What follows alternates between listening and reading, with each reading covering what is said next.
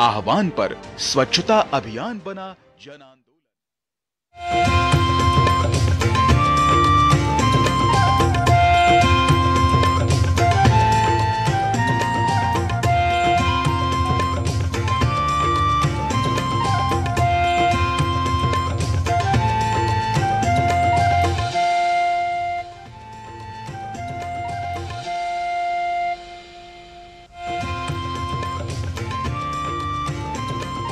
सुप्रभातम।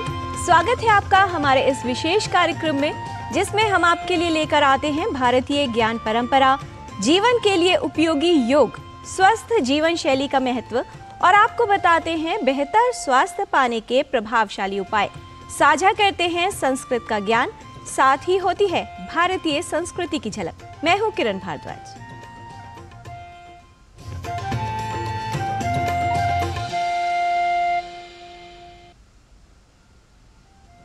समय और शिक्षक एक समान होते हैं। शिक्षक भी हमें सिखाते हैं और समय भी। लेकिन दोनों में एक अंतर होता है और वो ये कि शिक्षक पहले सिखाते हैं और फिर परीक्षा लेते हैं।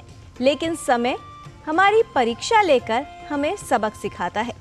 जीवन में आगे बढ़ने के लिए समय के अनुसार चलना, समय के साथ चलना और समय के समान गतिमान रहना अनिवार्य है। तो आइए जान लेते हैं समय का ज्ञान क्या है। समझते हैं क्या है आज के तिथि, वार और नक्षत्र, और इसके लिए देख लेते हैं आज का पंचांग। आज का पंचांग, युगाब्द 5125 विक्रमी संवत 2080 शक संवत 1945 दक्षिणायन हेमंत ऋतु पौष मास कृष्ण पक्ष त्रयोदशी तिथि। मंगलवार। ज्येष्ठा नक्षत्र। आज का दिन सभी के लिए मंगलमय हो।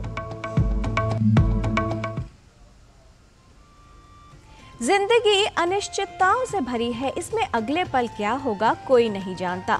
जीवन में हर दिन कुछ नए प्रश्न, कुछ नई समस्याएँ, कुछ नई परिस्थितियाँ हमारे सामने होती हैं और हर व्यक्ति अपनी समझ के अनुसार उन परिस्थितियों का सामना करता है, समस्याओं के हल ढूंढता है और इसमें सहयोगी होती है हमारी समझ। समझ को बेहतर विकसित करने के लिए आवश्यक है सुविचार। तो ऐसे ही कुछ सुविचार देख लेते हैं और ये समझ लेते हैं कि किस तरह से हमारे जीवन को सकारात्मक रूप से आगे बढ़ाया जा सकता है, क्योंकि विचार हमारे जीवन में ऊर्जा का स्रोत है। एतत् कार्यममराः संश्रुतं मे। धृतिशम सत्यधर्मानुवृत्तिः। ग्रन्थिं विनीय हृदयस्य सर्वम् प्रिया प्रिये चात्समं नयिता मनुष्य का कर्तव्य है रचना करना, इंद्रियों और मन को वश में करना, सत्य एवं धर्म का पालन करना, तथा सभी पूर्वाग्रहों को त्याग कर हर किसी के साथ समान व्यवहार करना, चाहे कोई उसे पसंद करे या न करे। Man's duty is to create, control the senses and mind, follow truth and religion, and give up all prejudices and treat everyone equally, whether anyone likes him or not.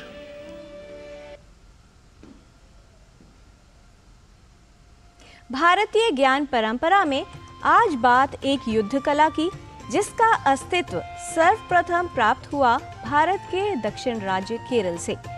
संभवतः सबसे पुरानी युद्ध कला जिसे mother of all martial arts भी कहा जाता है, इस युद्ध कला को भारत के दक्षिण क्षेत्रों के अलावा श्रीलंका और मलेशिया जैसे जो मलयाली समुदाय हैं, उनमें भी काफ़ी प्रचलित है ये युद्ध कला और इसकी झलक हमने कई बॉलीवुड की फ़िल्मों में भी देखी है। तो आइए जान लेते हैं कि क्या है इसका इतिहास और कितनी लोकप्रियता है इसकी हमारे सहयोगी नीतीश भारद्वाज की इस विशेष रिपोर्ट के माध्यम से।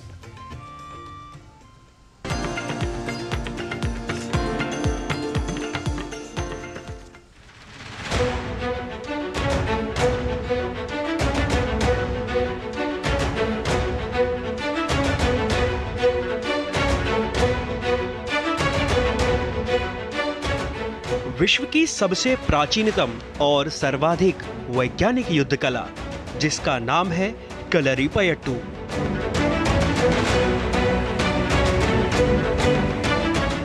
जिसने केरल में लगभग पाँच हज़ार साल पहले जन्म लिया।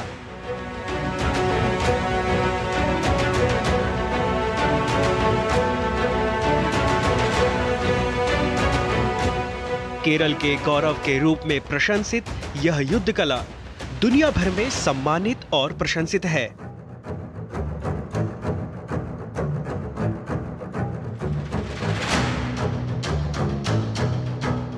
ऐसा माना जाता है, योद्धा ऋषि परशुराम कलरी कलरीपयट्टू के प्रणेता थे।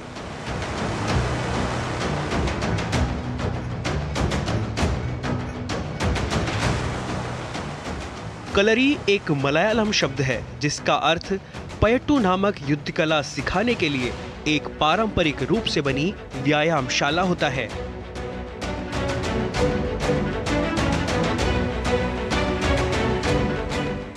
इसमें कॉम्बैट और डिफेंस टेक्निक्स तो है ही, साथ ही है हथियार, योग और हीलिंग टेक्निक्स का बेमिसाल मिश्रण।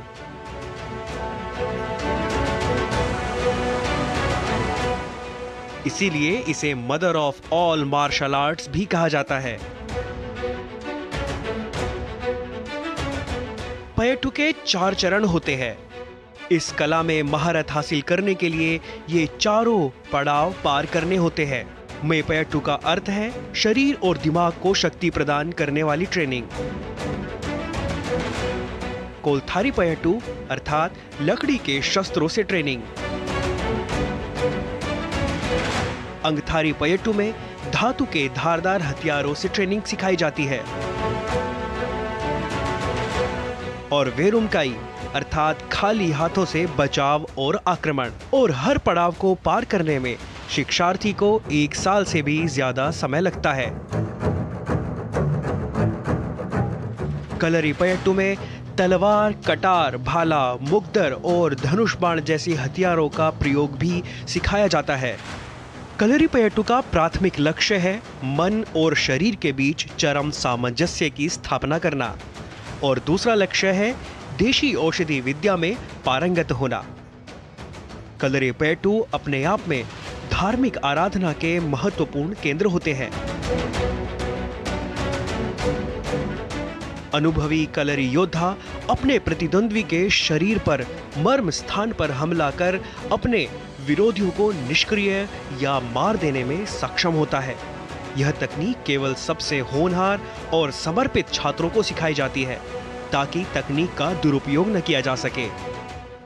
इतना ही नहीं, भारतीय युद्ध कलाकार मीनाक्षी अम्मा गुरुक्कल, जिन्हें केरल की इस पारंपरिक युद्ध कला कलरीपेट्टू की अभ्यासकर्ता और प्रशिक्षिका रूप में जाना जाता है, जिन्हें 2017 में उनके उत्कृष्ट कार्य के लिए भारत का चौथा सर्वोच्च नागरिक पुरस्कार पद्मश्री भी प्रदान किया गया। इतना ही नहीं, कलरी पयटू युद्ध कला को अंतरराष्ट्रीय और भारतीय फ़िल्मों में भी दर्शाया गया है, जैसे Ashoka, The Myth, The Last Legion Commando, Bajirao Mastani, Baaghi, Padmaavat, Junglee, अथीरा, सनक आदि मूवी में इस युद्ध कला का प्रदर्शन किया गया है। सबसे हैरान करने वाली बात यह है कि कुंफू कराटे आदि का जन्म कलरीपयट्टू से माना जाता है। वस्तुतः कलरी सिर्फ़ युद्ध कला ही नहीं, बल्कि तन, मन और मस्तिष्क को तंदुरुस्त और संतुलित रखने वाली कला भी है। साथ ही यह भारत की अन्य कलाओं की प्रेरणा भी है। नीतीश भारद्वाज की रिपोर्ट डीडी न्यूज़।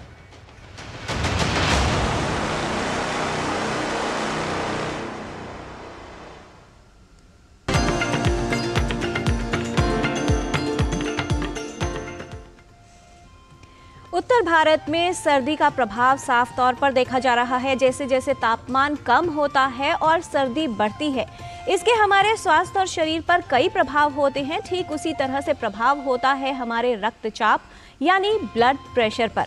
जो लोग उच्च रक्तचाप से प्रभावित हैं, सर्दियों के मौसम में उनकी जटिलताएँ और समस्याएँ बढ़ सकती हैं। ऐसे में किन बातों का ध्यान रखना अनिवार्य है और किन बातों का ध्यान रखकर सर्दियों के मौसम में रक्तचाप को नियंत्रित रखा जा सकता है। साथ ही उच्च रक्तचाप के रोगियों को कौन सी सावधानियों का पालन करना चाहिए? आइए देखते हैं इस रिपोर्ट में।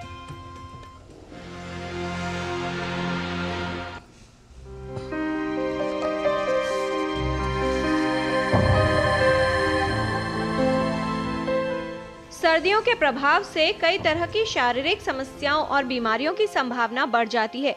लोगों को जोड़ों में दर्द परेशान करता है, दमा और श्वसन रोगों का खतरा बढ़ता है। वहीं फ्लू की समस्या भी सर्दियों में अधिक होती है। इनके अलावा एक और समस्या जो सर्दियों में कई लोगों को परेशान करती है, वो है रक्तचाप का बढ़ा हुआ स्तर। प्रकृति जो है, वो सर्दी के मौसम में शरीर की गर्मी सहेजने का प्रयत्न करती है। यानी हीट लॉस को प्रिवेंट करने की कोशिश करती है। हमारे शरीर की गर्मी एनवायरनमेंट में ना जाए, इसका प्रयत्न करती है। और इसके चलते जो हमारे हाथ पैरों की धमनियाँ हैं, जो खून की धमनियाँ हैं, वे सिकुड़ जाती हैं, जिसे हम वेजो कंस्ट्रक्शन कहते हैं आम भाषा में।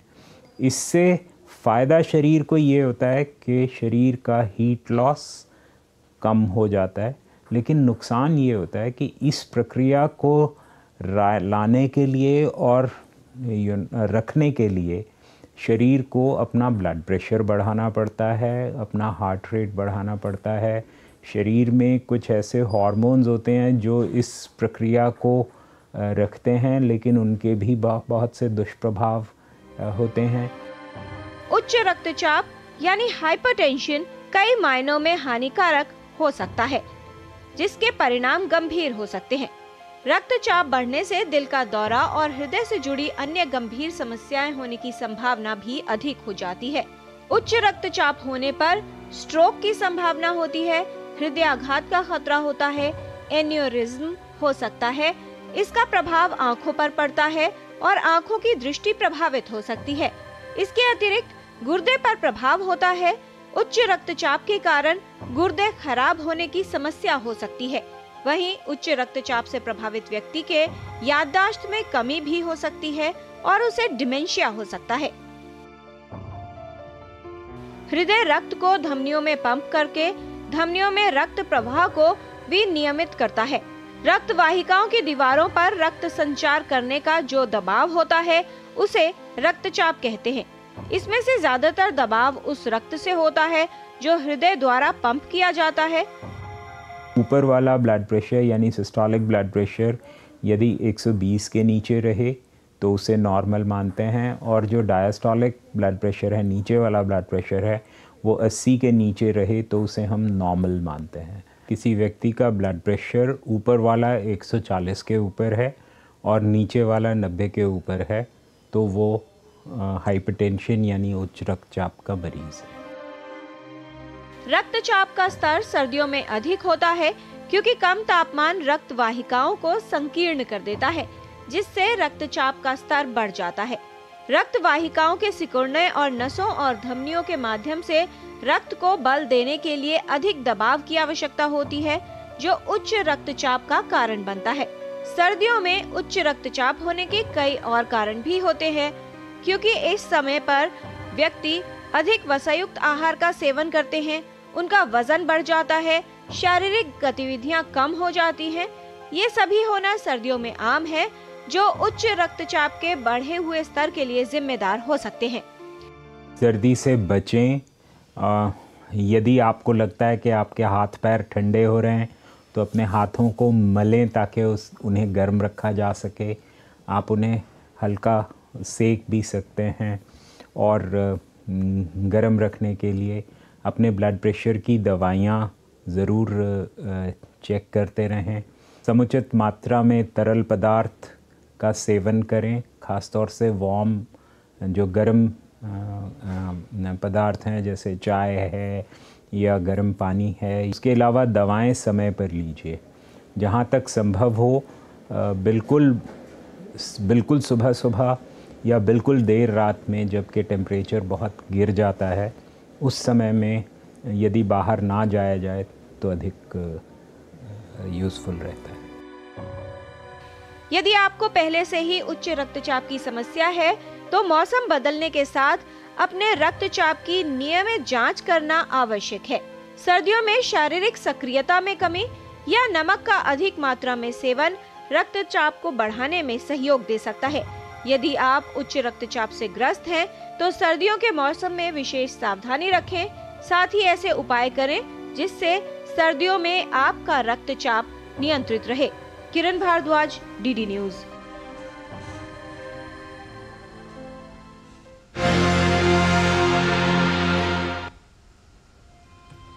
उच्च रक्तचाप हो हृदय रोग या फिर कोई अन्य जीवन शैली से संबंधित रोग। योग इन सभी बीमारियों से बचाव में उपयोगी है। यदि कोई बीमारी हो जाती है तो उसके इलाज में उपयोगी है और साथ ही स्वास्थ्य को बेहतर बनाने में उपयोगी है योग। तो आइए देख लेते हैं आज का योग मंत्र और देख, सीख लेते हैं कुछ ऐसी योगिक क्रियाएँ जो आपको स्वस्थ रखने में सहायक सिद्ध हो सकती हैं।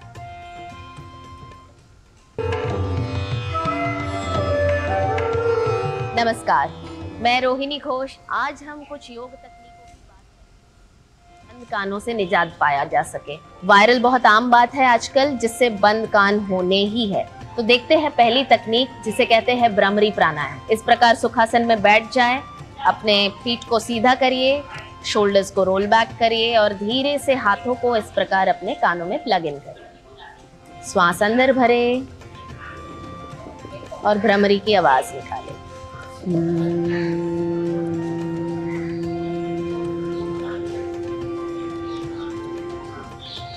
सांस अंदर भरे।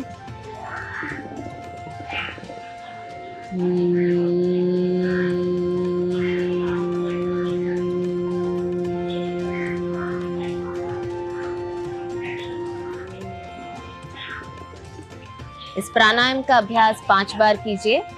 बढ़ते हैं दूसरी तकनीक पे। जिसे कहेंगे कर्ण रंध्र धौती तो इसी मुद्रा में, सुखासन में बैठे रहे और धीरे से अपने हाथों को ले जाएँ। इस प्रकार छोटी उंगली को कानों में डाल के घुमाएँ। धीरे धीरे घुमाते रहे। कुछ क्षणों तक इसका अभ्यास करें। इस प्रकार अपनी छोटी उंगली को अपने कानों में 30 से 40 सेकंड तक घुमाइए। ध्यान रहे, आपके बड़े नाखून ना हो, आपके कानों में इन्फेक्शन ना हो। अगर ये दोनों होंगे तो आपके कानों में हर्ट हो सकता है, क्षति पहुँच सकती है। धीरे से हाथों को नीचे लाइए। इसका नियमित अभ्यास कीजिए और देखिए किस प्रकार आपको बंद कानों से आराम मिलेगा। और आइए, अब जानते हैं कुछ प्रैक्टिकल टिप्स के बारे में गुरु गुरुमा हंसा जी योगेंद्र से। नमस्कार। हमारे कान, नाक और गला, ये सब अंदर से जुड़े हुए हैं। अब जब भी कान में कोई तकलीफ़ है तो नाक और गले का उपयोग करना है। नाक से लंबा सांस अंदर लें, नाक को बंद करके रखें और सांस को बाहर ज़ोर से फेंकने का प्रयत्न करें। ये प्रेशर से कान खुले रहते हैं। दूसरा, कि नाक और कान को हेल्दी रखें। इसे जल्दी थी करें। गर्म पानी की थैली का कान पर, नाक पर, गले पर सेक करें। वार्म से हमेशा चीज़ें खुली रहती है। और खाने में ध्यान दें। जब भी मुँह खोलते हैं आ करते हैं। जैसे हम उबासी लेते हैं तो वो उबासी लेना अच्छी तरह सीधा गर्दन करके, बाजू में गर्दन करके, उससे भी कान का प्रेशर हट जाता है। इसलिए ये सब चीज़ करते रहेंगे तो कान स्वस्थ रहेंगे, कर्ण रंध्र धोती, ये तो करनी ही है। बस तो कोशिश करते रहें। सर्दियों के मौसम में नाक कान गले की समस्याएँ बेहद आम है। किसी का नाक बंद रहता है, गला खराब होता है तो किसी को कानों का संक्रमण हो जाता है। अगर इन सभी समस्याओं से बचाव करना है तो दो बातों का विशेष ध्यान दीजिए। अगर आप कमरे से बाहर जा रहे हैं तो गर्म और ठंडा। अचानक तापमान परिवर्तन ना हो, साथ ही अगर ठंड बहुत ज़्यादा है तो अपने सिर को ढकना, मफलर और टोपी का उपयोग करना बेहद उपयोगी सिद्ध हो सकता है। यहाँ पर रुकेंगे एक छोटे से विराम के लिए। आप कहीं मत जाएगा देखते रहिए डी न्यूज़ मेरे पास ऑलमोस्ट सभी तरीके के कस्टमर्स आते हैं जो छोटा कारोबार करते हैं दुकान वाले हैं हाउस वाइफ्स हैं। तो वो लोग समझते हैं इस चीज़ को कि आज वो वर्किंग हैं कल को जब वो वर्किंग नहीं रहेंगे तो उस कंडीशन पे उनका क्या होगा? तो इसीलिए रिटायरमेंट प्लान हमें पहले से ही लेना चाहिए कि हम अपने ओल्ड एज पर आकर उस रिटायरमेंट प्लान का फ़ायदा उठा सकें। अपने बेहतर कल को सुनिश्चित करने के लिए एनपीएस ज़रूरी है।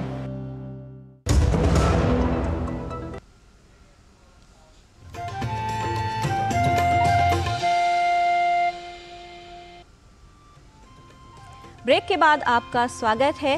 धर्म शास्त्रों में स्तोत्र का विशेष महत्व बताया गया है। तो आइए आज संस्कृत पाठशाला में चलते हैं गिवेश द्विवेदी के साथ, जहाँ पर वो हमें सिखा रहे हैं स्तोत्र।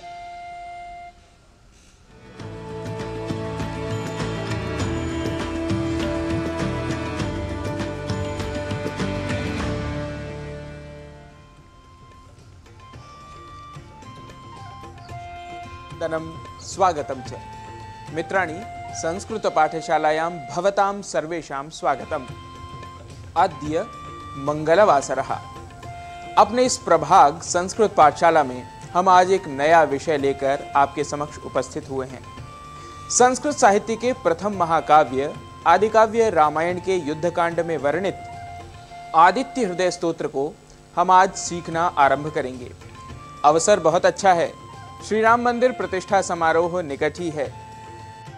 मित्रों, देश के प्रायः हर वर्ग, हर धर्म के व्यक्ति ने श्री राम मंदिर हेतु तन मन धन से समर्पण किया ही है। हम चाहते हैं कि इस अवसर पर आप आदित्य हृदय स्तोत्र सीखें व प्राण प्रतिष्ठा के समय इसे रामलला को अवश्य सुनाएँ। यह हमारी ओर से सही मायने में एक सच्ची वाक पुष्पांजलि होगी। आइए अब संक्षेप में बात कर लेते हैं आदित्य हृदय स्तोत्र की। यह सूर्य की शक्तियों या गुणों को बताने वाला स्तोत्र है। स्तोत्र, यह इस शब्द का सही उच्चारण है। कई बार अनजाने में हम इसे स्रोत या स्तोत्र या स्तोत्र कह जाते हैं, लेकिन इसका सही उच्चारण है स्तोत्र। यहाँ हमें शुद्धता का विशेष ध्यान रखना है। वाल्मीकि रामायण के अनुसार जब युद्ध कांड में श्री राम व रावण का युद्ध चल रहा है तब रावण के बल के आगे राम हारने लगते हैं। यह केवल राम के साथ ही नहीं हुआ। जीवन में हर मानव के साथ यह होता है। संघर्ष के समय लक्ष्य तक पहुँचते पहुँचते हार का अनुभव होने लगता है। अवसाद, दुख व संशय लगने लगता है कि जीत होगी भी या नहीं। उस समय किसी आशा, किसी शक्ति, आत्मविश्वास व इच्छा शक्ति की आवश्यकता महसूस होती है। यही श्री राम के साथ भी हुआ था। और उस समय अगस्त्य ऋषि ने उन्हें सूर्य की शक्तियों को बताते हुए उनमें आत्मविश्वास व बल का संचार किया था। आदित्य अर्थात सूर्य, यह है ही इतना शक्तिशाली, अपने प्रकाश से सभी अंधकारों को दूर कर देता है, सभी अंधकारों का नाश कर देता है। प्रकृति के जड़ चेतन सभी को समान रूप से लाभान्वित करता है। एक सच्चे योगी की भांति भेदभाव रहित होकर अपने प्रकाश से जगत को प्रकाशित करता है। वह हम सभी में ऊर्जा का संचार करता है। तो आइए ऐसे स्तोत्र को, जिसने श्री राम को भी ऊर्जा दी थी, इसे हम पढ़ना सीखते हैं। सबसे पहले आइए विनियोग करते हैं। विनियोग एक प्रकार का बॉन्ड है। या यूँ कहूँ कि एक एफिडेविट है, जिसमें स्तोत्र के ऋषि, उसके छंद जिसके अनुसार उसका गायन किया जाना है, उसके देवता व उद्देश्य या लक्ष्य उसका विवरण होता है। आइए इसे सीखते हैं। आप पहले ध्यान से सुनिए और फिर हमारे साथ उच्चारण करिए। ओम अस्य आदित्य हृदय स्तोत्रस्य अगस्त्य ऋषि अनुष्टुप छंद आदित्य हृदय भूतो भगवान ब्रह्मा देवता निरस्ताशेष विघ्नतया ब्रह्म विद्या सिद्धौ सर्वत्र जय सिद्धौ च विनियोग। एक बार फिर से इसका उच्चारण सुनिए। ओम अस्य आदित्य हृदय स्तोत्रस्य अगस्त्य ऋषि अनुष्टुप छंद आदित्य हृदय भूतो भगवान ब्रह्मा देवता निरस्ताशेष विघ्नतया ब्रह्म विद्या सिद्धौ सर्वत्र जय सिद्धौ च विनियोगः। आइए अब इस स्तोत्र का पहला श्लोक सुनते हैं। ततो युद्ध परिश्रांतम ततो युद्ध परिश्रांतम समरे चिंतया स्थितम, समरे चिंतया स्थितम। रावणं चाग्रतो दृष्ट्वा, रावणं चाग्रतो दृष्ट्वा युद्धाय समुपस्थितं युद्धाय समुपस्थितम्। दैवतैश्च समागम्य। दैवतैश्च समागम्य। द्रष्टुमभ्यागतो रणम्। द्रष्टुमभ्यागतो रणम् उपगम्याब्रवीद्रामम्। उपगम्याब्रवीद्रामम्। अगस्त्यो भगवांस्तदा। अगस्त्यो भगवांस्तदा। मित्रों, आज के अंक में इतना ही। आप आदित्य हृदय स्तोत्र का कृपया दैनिक अभ्यास करिए। और यह स्तोत्र आपको 22 जनवरी को प्राण प्रतिष्ठा के समय राम लला जी को अवश्य सुनाना है, यह तो आपको याद ही रखना है। हमारे अर्थात डी न्यूज़ के सोशल मीडिया प्लेटफॉर्म्स जैसे यूट्यूब या एक्स पर आप इसे पुनः पुनः सुनकर अपना अभ्यास कर सकते हैं। अपने परिवार के साथ, मित्रों के साथ अवश्य करिए अभ्यास और अपने जीवन में भी, अपने हृदय में सूर्य के समान शक्तियों का अनुभव करिए। अपने अग्रिम अंकों में, अग्रिम श्लोकों के साथ पुनः मेलिष्यामः नमो नमः।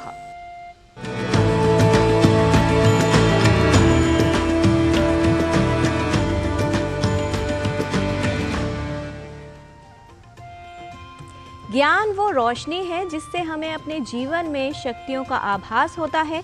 ज्ञान हमें अलग अलग तरह से प्राप्त हो सकता है। कुछ ज्ञान पुस्तकों से मिलता है, सृष्टि से मिलता है, जीवन से मिलता है। कहा जाता है कि ज़रूरी नहीं हर सबक किताबों यानी पुस्तकों से ही मिले। कुछ सबक ज़िंदगी और रिश्तों से भी मिलते हैं। तो आप भी अपने सीखने की प्रक्रिया जारी रखिए। ज्ञान जहाँ से भी मिलता है, उसको अर्जित कीजिए और उस ज्ञान को किस तरह से अपने जीवन में उपयोग कर जीवन को बेहतर बना सकते हैं, इस पर ध्यान दीजिए। आज के अंक में फ़िलहाल इतना ही। हमारी पूरी टीम को दीजिए अनुमति। नमस्कार।